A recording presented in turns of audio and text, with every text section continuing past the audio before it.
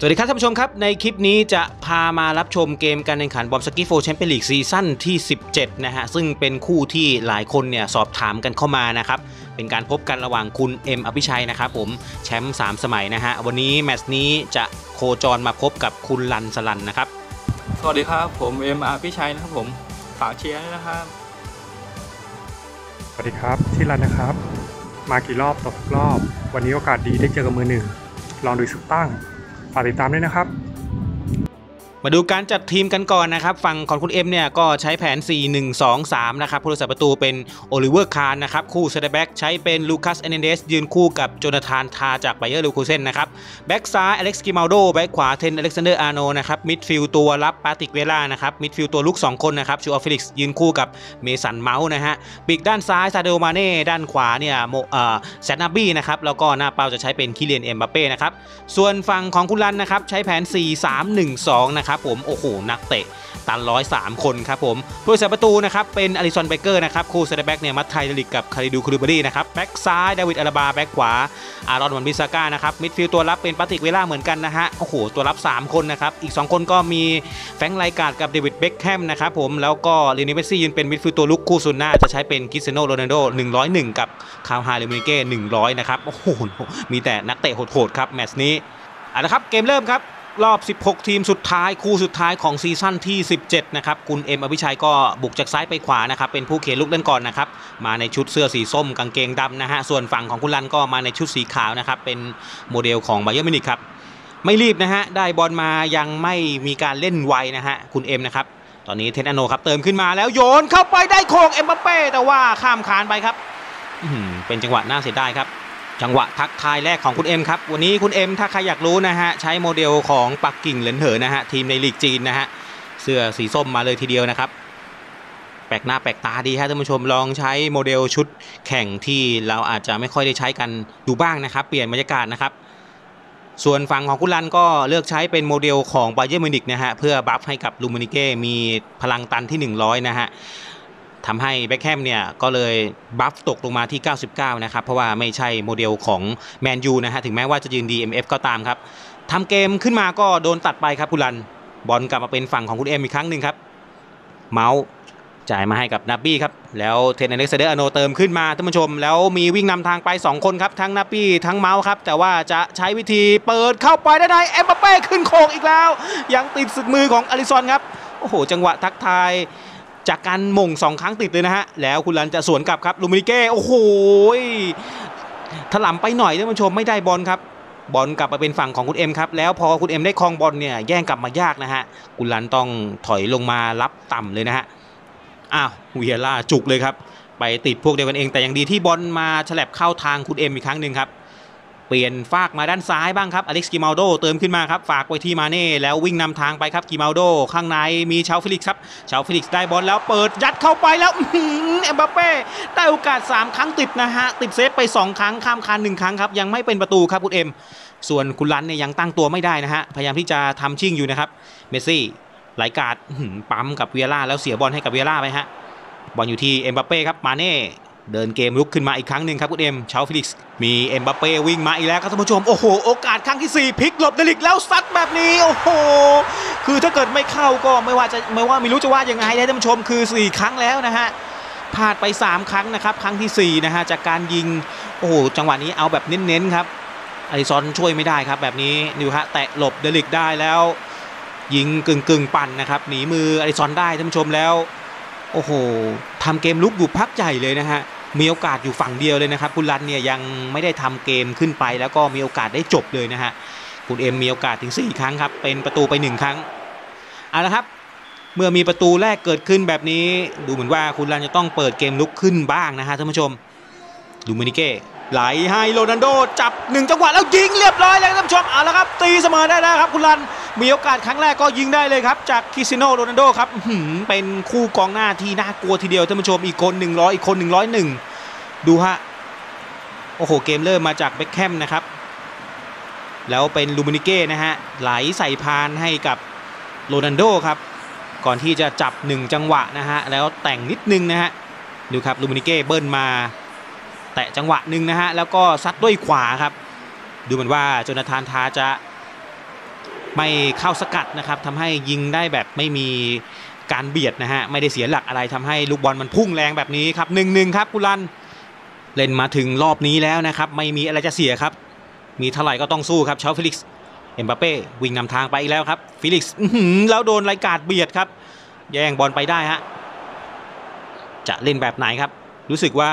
AMF จะค่อนข้างที่จะลงไปรับต่ำนิดหนึ่งนะฮะทำให้การเชื่อมระหว่างกองหลังไปกองหน้าของคุณรันเนี่ยจะขาดหายไปนะครับในบางจังหวะนะครับแต่ว่าจังหวะนี้ครับไหลให้กับลูมินิเก้โอ้โหแฉลบนิดนึงครับเอเดนเดสครับยังช่วยไว้ได้ครับไม่งั้นเนี่ยลูมินิเก้น่าจะโอ้โหทำประตูขึ้นนำได้ไม่ยากนะครับ จังหวะเมื่อสักครู่คุณเอ็มก็ตัดเกมได้ค่อยๆ ต่อบอลขึ้นมาบ้างครับอาโนนาบี้ เลือกไปตรงกลางครับเวล่าแล้วถ่ายไปด้านซ้ายเลยครับมาเน่ฝากไว้ที่ฟิลิกซ์ครับแล้วโยนแบบนี้แล้วจะตวัดเข้ามาแล้วเหมือนจะไปแฉลบนิดนึงนะฮะทำให้บอลก็ไปเข้ามืออเอแดร์ซอนครับ เป็นบอลของคุณรันบ้างครับเบคแฮมจับบอลยาวแต่ก็ยังได้อยู่ครับลูมินิเก้คือมาที่ไรการ์ดโอ้โหดักได้ดีครับท่านผู้ชมเชาฟิลิกซ์ ตอนนี้เข้าสู่ช่วงทดเจ็บของครึ่งแรกครับมาเน่สปีดกับวานบิสซาก้าครับวานบิสซาก้าเอาชนะได้แล้วก็คืนไปที่เอแดร์ซอนโยนยาวไปกลางสนามแบบนี้ก็หมดเวลาท่านผู้ชมยังเสมอยังเจ๊ากันอยู่ที่1นหนึ่งนะฮะแต่ว่าการครองบอลของคุณเอ็มเนี่ยเหนือกว่าอย่างเห็นได้ชัดนะครับครองบอลไป 64%แล้วมีโอกาสถึง 6 ครั้งนะฮะดีที่เป็นประตูเพียงแค่ลูกเดียวนะฮะยังไม่ห่างไปกว่านี้นะฮะถือว่ายังยังเท่ากันอยู่นะฮะถึงแม้รูปเกมจะดูรองนะฮะท่านผู้ชมสำหรับคุณรันนะครับก็อย่างที่บอกครับ มาถึงขนาดนี้แล้วครับ มีอะไรจะสู้ก็ต้องสู้ให้หมดครับแมตช์นี้นะฮะ ถึงแม้ว่าเจอคุณเอ็มก็ต้องมีบนหวันกันบ้างนะฮะ แต่ว่าอย่างที่บอกครับต้องเต็มที่ครับ มาชมเกมครึ่งหลังครับ ทางฝั่งของคุณเอ็มก็ถอดอับบี้ออกไปส่งกิสมันลงมาครับ จังหวะนี้ไหลให้กับลูมินิเก้ครับไม่ถึงครับ ดูเหมือนว่าเมสซี่ของคุณรันจะไม่ค่อยมีบทบาทเท่าไหร่นะครับในช่วงครึ่งแรกที่ผ่านมานะฮะรวมถึงต้นครึ่งหลังด้วยนะครับ ต้องมาดูกันยาวๆครับ มาเน่ฝากไว้ครับกิมาโด วิ่งไปไม่ได้ต้องคืนมาก่อนฮะเล่นกันเข้าริมเส้นไม่ได้ก็ถ่ายมาตรงกลางครับ ยัดไปให้กับกิสมันครับกิสมันนี่มายืนเป็น CF เลยนะฮะแล้วขยับโยกเอ็มบัปเป้ไปยืนเป็นปีกขวานะครับ ถอดนาบี้ออกไปนะฮะ นี่คือกลยุทธ์ในครึ่งหลังของคุณเอ็มครับ ล้ำหน้าไปครับจังหวะนี้โรนัลโด คือถ้าเกิดเลือกมาด้านขวาให้ลูมินิเก้เนี่ย น่าจะไม่ล้ำนะฮะ แต่ว่าตรงโรนัลโดนั้นล้ำไปแล้วนะครับ ยังปฏิปต่อเกมรุกได้ไม่ดีเท่าที่ควรนะครับ คุณรันอ้าวโดนกระแทกครับได้ฟาวครับ ไปทำฟาวกิมาโดนะครับ ยังไม่มีประตูเพิ่มครับ คือรูปเกมมันจะออกตึงๆก็ไม่เชิงนะฮะเพราะว่าส่วนใหญ่คุณเอ็มก็ครองบอลได้เยอะกว่านะฮะคุณรันก็ค่อนข้างใจเย็นนะครับ ไม่เข้าพรวดไม่เข้าไวนะฮะคุมโซนนิ่งอยู่นะครับ คือถ้าเกิดเป็นบอลโซนนิ่งแบบนี้เนี่ยก็เข้าทางคุณเอ็มครับ ขึ้นอยู่กับว่าจะยิงเพิ่มได้ตอนไหนหรือว่าจะพลาดเหมือนกับในบางนัดนะฮะที่บางซีซั่นก็ตกรอบไปนะฮะกิมาโดครับไปไม่ได้ครับเจอกันอีกแล้วครับฝั่งไรการ์ดแต่จังหวะนี้ไม่ฟาวล์ครับลูมินิเก้ได้บอลครับแล้วไรการ์ดเติมมาด้านขวาครับเลือกไปที่โรนัลโดครับสปีดหนีตรงกลางท่านผู้ชมอาโนเอาไม่อยู่ อีกคนนึงก็เอาไม่อยู่ครับ ยิงด้วยซ้ายเรียบร้อยเลยครับขึ้นนำไปแล้ว โอ้โหครองบอลน้อยกว่า แต่ว่าโอกาสน้อยกว่า แต่ว่ายิงได้ 2 ลูกครับโรนัลโดโอ้โหเด็ดขาดทีเดียวครับ นี่นะฮะอย่างที่บอกไปเมื่อกี้นะฮะว่าถ้าเป็นการโซนนิ่งแบบนี้เนี่ยก็เข้าทางคุณเอ็มนะฮะคือครองบอลอยู่พักใหญ่แต่ว่าโอกาสจบสุดท้ายเนี่ยอาจจะไม่ค่อยเด็ดขาดเท่าไหร่นะฮะบางซีซั่นเขาก็ตกรอบไปในลักษณะแบบนี้นะฮะคือครองบอลเยอะนะฮะแต่ว่าจังหวะจบเนี่ยอาจจะจบไม่เด็ดขาดนะครับทำให้พอโดนสวนกลับแบบนี้ แล้วโดนลงโทษเลยครับ ถึงแม้ว่าคุณรันจะมีโอกาสน้อยกว่านะฮะสองหนึ่งครับ ของบอลน้อยกว่าแต่ยิงนำไปแล้วครับจากโรนัลโดทั้ง 2 ลูกเลยนะฮะแต่ว่าเวลายังไม่หมดครับต้องดูกันยาวๆครับ แล้วนี่เป็นเพียงแมตช์แรกเท่านั้นนะฮะทัวร์นาเมนต์รอบนี้ก็เป็นการแข่งขันแบบ 2 นัดนะครับเย่าเยือนนะฮะเดี๋ยวรอบ 4 ทีมสุดท้ายเนี่ยจะเป็นการแข่งแบบนัดเดียวจบนะฮะท่านผู้ชม แต่ว่ารอบนี้เนี่ยเย่าเยือนก่อนนะครับคือมาทางขวาครับคุณเอ็มเปิดคอสเข้าไปแล้วกิสมันครับเลือกใช้วิธีโยนให้กับกิสมันเนี่ยน่าจะค่อนข้างลำบากนะครับสำหรับกิสมัน อาอีกแล้วครับ จะโดนสวนกลับอีกหรือเปล่าครับไรการครับลูมินิเก้อย่างดีที่ได้มาแต่ว่าตวัดไปแล้วโรนัลโดไม่พร้อมนะฮะทำให้ไม่ได้เปรียบครับ บอลอยู่ที่กิสมันรอเพื่อนนิดนึงครับ เมาส์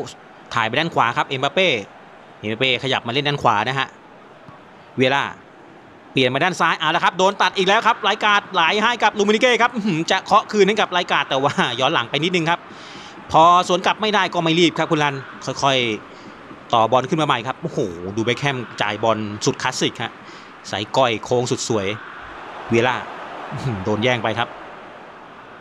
เอ็มบัปเป้ไหลให้กับกิสมันครับเจอกับเดลิกต์ครับข้างหน้าก็มีหนึ่งคนครับ แต่ว่าจ่ายไปให้กับอโนได้เคาะคืนมาให้กับกิสมันปั่นด้วยซ้ายเรียบร้อยครับ ตีเสมอได้แล้วครับ จากอองตวนกิสมัน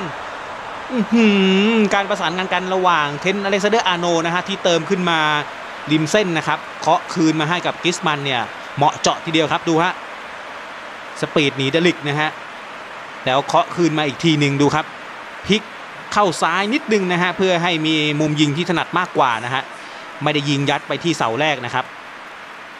ใช้ความชัวนะฮะนี่ครับ หันหน้ามาที่เสาไกลนะครับเราค่อยๆเอี้ยวตัวนะฮะกดปั่นซ้ายนิดนึงนะฮะคือกดชูดกดยิงไปนะครับกดช็อตกดยิงไปนี่แหละ แล้วก็ลากนิ้วลงนะฮะมันจะเป็นการปั่นนะฮะเผื่อใครไม่ทราบเนาะลักษณะการยิงแบบนี้นะฮะเพื่อเพิ่มโอกาสกันได้รับประตูมากขึ้นนะฮะเพื่อโค้งหนีมือผู้รักษาประตูครับลูมินิเก้ครับจะเอาคืนอีกลูกติดเอเดนเดสครับแต่ประมาทไม่ได้นะฮะเหลืออีก 10นาทีครับยังเสมอกันอยู่ที่ 2-2 ครับ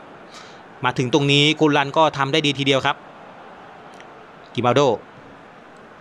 มาเน่ครับมาเน่ก็ไม่ค่อยมีบทบาทเท่าไหร่นะฮะจะสปีดหนีปูโยได้หรือเปล่าครับมาเน่ยังตื้อยังสปีดแล้วโดนเบียดครับไม่ไม่โดนปูโยด้วยนะฮะเล่นฉลาดทีเดียวครับปูโย ไม่ได้เตะมุมด้วยครับ คุณรันไม่เลือกที่จะเล่นสั้นนะครับ โยนบอลไปกลางสนามโรนัลโดโหม่งได้ด้วยฮะเวล่าเบคแฮมเมสซี่ พลิกนิดนึงครับให้กับลูมินิเก้ครับแต่งแต่งเข้าซ้ายแล้วยิงไหมครับ ขอยิงเลยโอ้โหเรียบร้อยท่านผู้ชมถึงแม้ว่าจะเป็นเท้าซ้าย แต่บอลมันพุ่งรุนแรงครับ หมดสิทธิ์ครับโอลิเวอร์คาห์นแล้วแซงไปอีกแล้วครับ โอ้โหคุณรันครับมาถึงตรงนี้สุดยอดจริงๆครับ แล้วจะหมดเวลาแล้วด้วยฮะโอ้โห ยิงแบบนี้สุดๆครับ เจ็บจริงๆลูมินิเก้ดูครับ โอ้โห สลัดได้แล้ว ยิงถึงแม้ว่าจะไปเข้าเท้าซ้ายนะฮะ อาจจะชะล่าใจไปนิดนึงหรือเปล่านะฮะดูครับโอ้โหวนไปที่กลางหัวกะโหลกนะครับ ก่อนที่จะหันกลับมาแล้วยิงนะฮะโอลิเวอร์คาห์นล้มไม่ทันครับ สุดยอดครับนี่คือกองหน้าที่หลายคนบอกว่าเก่งกว่าโรนัลโดนะฮะโรนัลโดที่เมื่อก่อนเราว่าเป็น CF เบอร์หนึ่งของเกมนะฮะลูมินิเก้ตอนนี้ก็สุดยอดแล้วนะครับ หลายคนบอกว่าเก่งกว่าโรนัลโด แล้วนัดนี้คุณรันใช้ทั้ง 2 คนครับ มาดูจังหวะอ้าวแล้วยังไงครับท่านผู้ชมกิสมัน โอ้โหกำลังอธิบายความเก่งของลูมานิเก้กับโรนัลโด แต่ว่าคุณเอ็มไม่สนใจครับ ใช้กิสมันยิงประตูที่ 2 ของกิสมันแล้วเป็นประตูที่ 3 ของคุณเอ็มครับ ตีเสมอ โอ้โห มันจะหมดเวลาอยู่แล้วครับ มายิงกันเอาช่วงท้ายเกมครับท่านผู้ชม ดูฮะยึกยึกอยู่นิดนึงนะฮะก่อนที่จะไหลให้กับกิสมันคือกำลังลังเลอยู่ว่าจะไปด้านขวาด้านซ้ายหรือตรงกลางดีสุดท้ายจิ้มไหลมาให้กับกิสมันครับ ดูฮะ โอ้โห เดลิกครับ อือหือประกบห่างไปนิดนึงครับ คือจังหวะแบบนี้ก็ตั้งรับยากเหมือนกันนะฮะ โอ้โห ไม่ยอมง่ายๆครับคุณเอ็ม สุดยอดครับ ใส่ใจทุกรายละเอียดจริง ๆ ครับกำลังจะหมดเวลาอยู่แล้วนะฮะ ยังมีการกดหยุดเกมนะครับ เพื่อเปลี่ยนนักเตะหรือเปลี่ยนแท็กติกนะฮะสามสามโอ้โห ยิงไป 6 ลูกครับ มายิงกันเอาช่วงท้ายเกมฮะ ครึ่งแรกยิงกันไปแค่1นหนึ่งนะฮะ คุณเอ็มไม่เปลี่ยนอะไรเพิ่มเติมนะฮะฝั่งผู้ที่หยุดเกมก็คือคุณลันนะครับ มีการส่งโยฮันคัฟลงมาแทนโรนันโดนะฮะ แล้วถอดปูโยออกไปนะครับ ส่งคูลูบรีลงมานะครับล้ำหน้า ไม่งั้นอาจจะโดนอีกลูกนะฮะจังหวะนี้ดูครับโยฮันคัฟนะครับ นักเตะเทวดาลงมาก็ล้ำหน้าเลยฮะทดเวลาหนึ่งนาทีครับ แล้วกำลังจะหมดหนึ่งนาทีครับ เล่นสั้นๆแล้วฮะแบบนี้นั่นแหละครับอ้าวแต่ยังไม่หมด หลายคนบอกว่าเรื่องของการทดเวลาใน PES version ปัจจุบันเนี่ยมีจะมีปัญหานะฮะนี่เกินมา1นาที ตั้งแต่บอลอยู่กลางสนามแล้วนะฮะยังไม่เป่าเลยนะฮะบางคนทดเป็น 10 นาทีฮะมาชูเอาเฟลิกซ์เกือบถึงครับท่านผู้ชม คือถ้าเกิดว่าไม่เป่าแล้วแบบนี้ถ้าเกิด ฝั่งของคุณเอ็มยิงได้เนี่ยมีหัวมีหัวร้อแน่นอนครับ เพราะว่าทดแค่ 1 นาที 3-4 นาทีแล้วยังไม่เป่าครับ เสมอกันไป 3-3 ครับท่านผู้ชม ถือว่าแม้ว่าคุณเอ็มจะครองบอลได้มากกว่านะฮะ แต่รูปเกมโดยรวมก็สู้ได้สนุกทีเดียวครับคุณรัน เนื่องจากว่ามันยังไม่จุใจท่านผู้ชมในแมตช์นี้คลิปนี้เนี่ยเดี๋ยวให้ชมกันอีกหนึ่งแมตช์นะครับเรายังไม่รู้ผลว่าใครแพ้ชนะนะฮะเสมอกันอยู่ 3-3 นะครับต้องต่ออีกแมตช์หนึ่งครับเอาใจช่วยผมด้วยนะฮะภาคยาวๆ ครึ่งชั่วโมง โอ้โหถ้ามีอะไรผิดพลาดไปนะฮะอาจจะลิ้นพันไปบ้างในบางครั้งก็ต้องขออภัยด้วยนะฮะอันนี้เปลี่ยนฝั่งแล้วนะครับ คุณเอ็มมาอยู่ด้านขวานะครับบุกจากขวาไปซ้ายนะฮะเจ้าบ้านเป็นฝั่งของกุลันนะครับ สไตล์เหมือนเดิมครับ เวียร่ายัดไว้ให้กับเอ็มบัปเป้ครับพลิกไม่ได้ยิงครับโดนบล็อก เอ็มบัปเป้แมตช์นี้กลับมายืนเป็น CF เหมือนเดิมนะฮะโรนัลโดฝากไว้ที่ไลกาดครับอ้าวไลกาดใช้สกิลแต่ว่ามัน นัวเนียนะฮะทำให้เสียบอลไปนาบี้เอ็มบัปเป้เซนเด็กเซเดอร์อาโนครับเติมขึ้นมาแล้วมาด้านขวาครับแซนนาบี้คืนไปที่อาโนอีกครั้งหนึ่งครับไม่เปิดครับเตียโก้มาตรงกลางครับจะยิงไกลหรือเปล่าครับเวียร่าไม่ใช่ครับไม่ใช่ตัวที่ยิงได้ชาฟิลิสมาด้านซ้ายครับกิมาโดมาเน่ไม่เข้าก็ไม่รีบครับสไตล์แบบนี้คุณเอ็มครับกิมาโดเปิดเข้าไปมั่นมั่นๆเตียโก้โอ้โหตีลังกา ไม่ถึงครับผ่านเอ็มบัปเป้ไปแล้ว ข้างหลังเนี่ยยังมีเตียโก้นะฮะ แต่ว่าไม่ผ่านมืออลิซอนครับกุลันครับ โอ้โหเบคแฮมเปิดไปโดนหน้ากิมาโดเต็มๆครับ บอลกลับมาเป็นฝั่งของคุณเอ็มอีกครั้งหนึ่งฮะเตียโก้ชาวฟริกเลือกมาด้านซ้ายไปฉลับบอลวิสก้า แต่มันไปเข้าทางเอ็มบัปเป้ครับจิ้มต่อมาให้กับมาเน่ข้างในมีใครครับ เปิดแล้วเรียกเข้าชาร์จซับแนบบี้เรียบร้อยครับท่านผู้ชม สกอร์มาแล้วครับขอเปิดวายหน่อยฮะ บางท่านบอกว่าเป็นท่าดีใจเปิดวายนะฮะ โอ้โหสุดยอด ดูครับมันไปฉลับบอลวิสก้า แต่มันก็ไปเข้าทางเอ็มบัปเป้ครับก็เลยจิ้มต่อให้กับมาเน่ครับ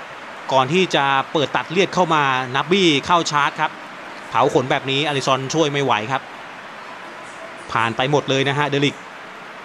โอ้โหวันนี้เดลิกรู้สึกว่าจะไม่ค่อยมีส่วนร่วมกับการเล่นเกมรับเท่าไหร่นะฮะหลายประตูที่เสียไปนะครับหนึ่งลูกครับ คุณเอ็มขึ้นนำไปแล้วครับ จากแซดดาบี้ในนาทีที่ 22 ฮะดูมินิเก้ไหลบ้างครับโรนัลโดแตะจังหวะแรกดีครับท่านผู้ชมแต่ว่าตรงนั้นมันมีกองหลังของคุณเอ็มสามคนฮะไม่งั้นอาจจะได้ยิงแล้วนะฮะยังตีเสมอไม่ได้ครับคุณลัน พยายามต่อไปครับ เวียร่า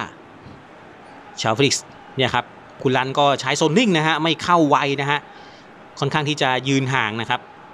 แบบนี้คุณเอ็มก็ ไม่รีบเช่นกันครับ รอดูจังหวะแบบนี้แหละครับ กิมาลโดเปิด cross เข้าไปเอ็มบัปเป้ขึ้นโขกข้ามคานอีกแล้ว โอ้โห รู้สึกเหมือนว่าพักนี้คุณเอ็มจะเน้นการขึ้นจากริมเส้นแล้วเปิด cross นะฮะ คุณเอ็มฝากมากระซิบบอกเทคนิคการเปิดบอลที่แม่นยำจากด้านข้างนะฮะ ให้ใช้นักเตะนะฮะ เวลาที่จะเปิดบอลเนี่ยกดปล่อย speed ก่อนนะครับ อย่ากด speed นะฮะ ไม่งั้นการทรงตัวของนักเตะจะ ทำได้ไม่ดีนะฮะแล้วเอี้ยวตัวประมาณ 45 องศานะครับหันหน้าเข้าหาผู้รักษาประตูนะครับถ้าเป็นเท้าข้างที่ถนัดยิ่งดีนะฮะนักเตะสไตล์ไรอันกิกส์นะครับหรือเบ็คแฮมนะฮะเป็นสไตล์คลาสสิกเนี่ยจะถนัดเท้าข้างขวาหรือข้างซ้ายในตำแหน่งฝั่งที่เขาเล่นพอดีนะฮะทำให้เปิดบอลได้ดีนะฮะแล้วคนที่เข้าชาร์จหรือขึ้นโหม่งเนี่ยก็ไม่ต้องกดทิศทางนะครับ กดยิงอย่างเดียวนะฮะเพื่อให้นักเตะเนี่ยคุมทิศทางอัตโนมัตินะครับจะมีประสิทธิภาพมากกว่า อันนี้คือ message ที่ทาง คุณเอ็มฝากมาบอกนะฮะ ลองไปฝึกกันดูครับ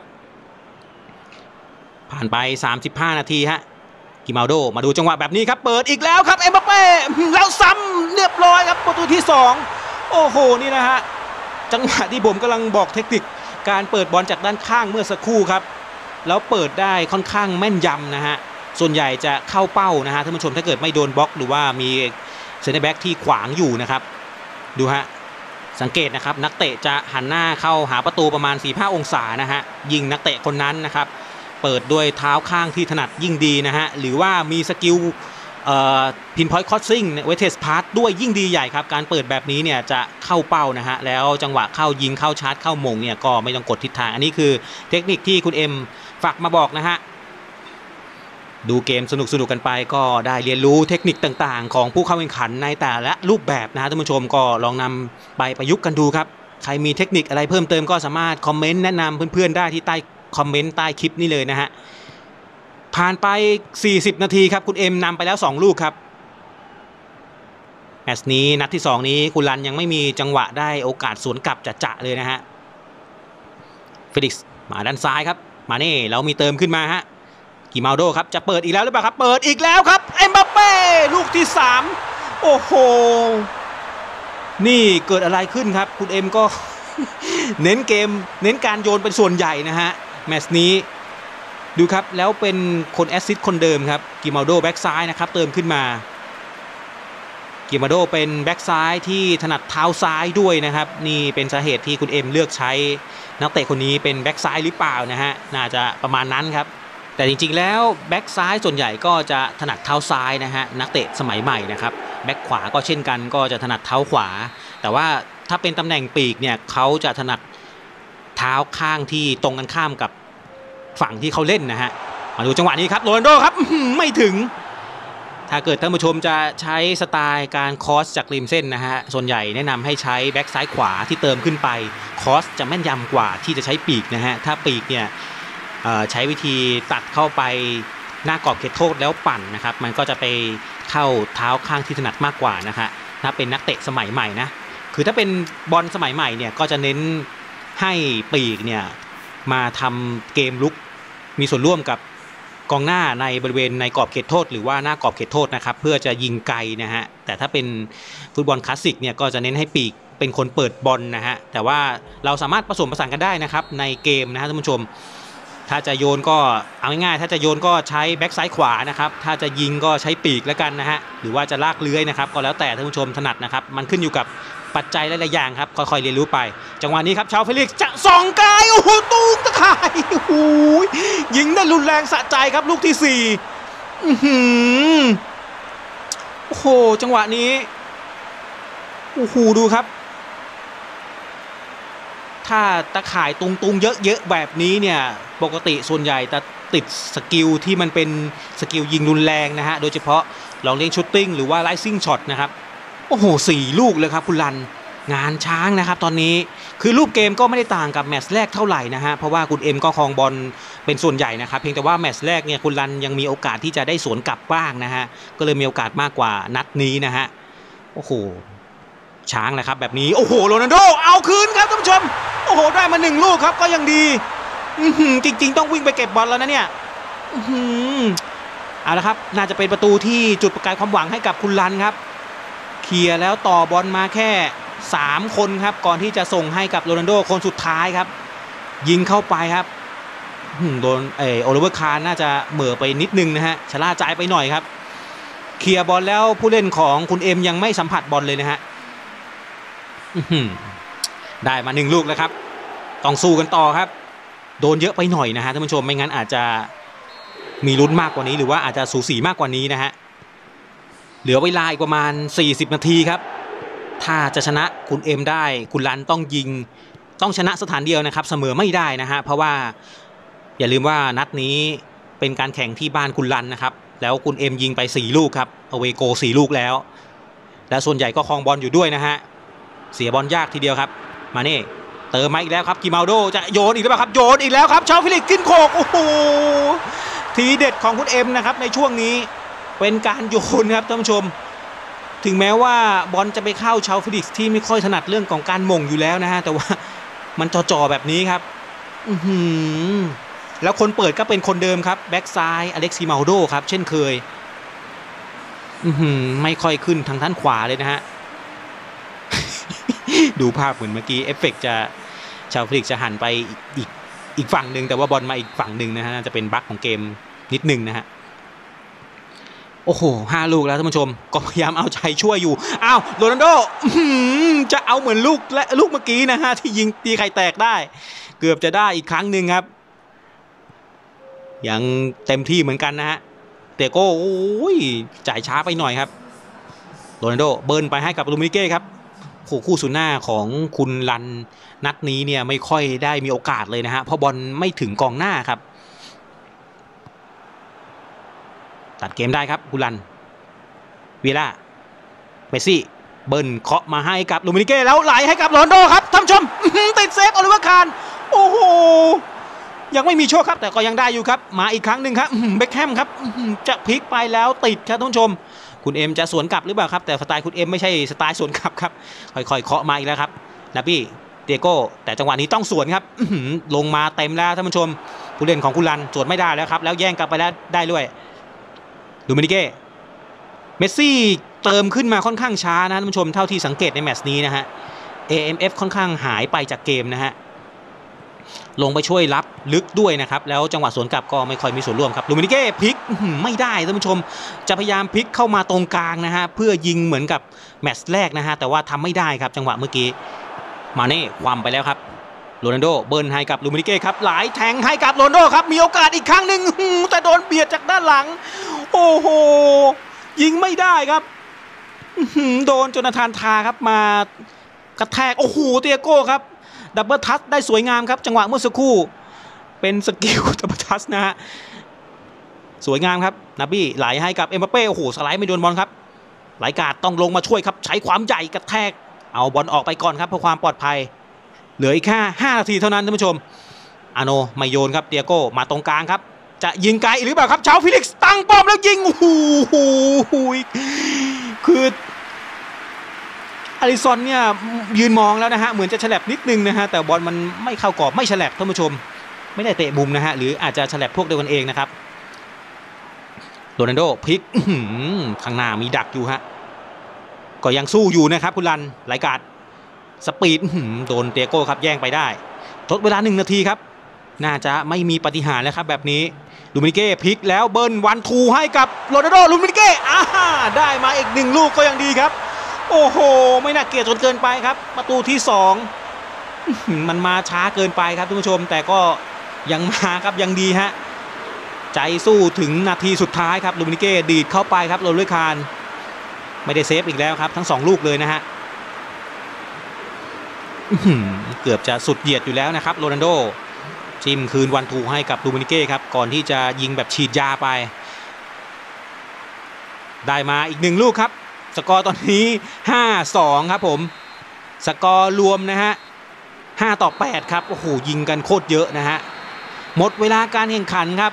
คุณรันก็สู้เต็มที่แล้วนะครับรูปเกมส่วนใหญ่นะฮะคุณเอ็มคองบอล 69%มีโอกาส 8 ครั้ง ยิงเข้ากรอบ 6 ครั้งนะครับ เป็นประตู 5 ครั้ง แมตช์นี้คุณเอ็มมีความแน่นอนในการจบสกอร์มากกว่าแมตช์แรกนะฮะแมตช์แรกอาจจะยิงทิ้งยิงคว้างไปหน่อยนะฮะแมตช์นี้รูปเกมไม่ได้ต่างกันนะครับคองบอลได้ดีกว่านะฮะมีโอกาสมากกว่าเหมือนเดิมนะฮะแต่ว่าเด็ดขาดมากกว่านะครับก็เป็นทางฝั่งของคุณเอ็มนะครับที่ผ่านเข้าไปสู่รอบ 8 ทีมสุดท้ายต่อไปนะครับ โอเคนะครับสำหรับคลิปนี้ก็มีประมาณนี้นะครับ ใครที่เพิ่งเข้ามาชมช่องอย่าลืมกด subscribe กดติดตามให้ผมด้วยนะครับ หมดแรงสำหรับคลิปนี้ สวัสดีครับ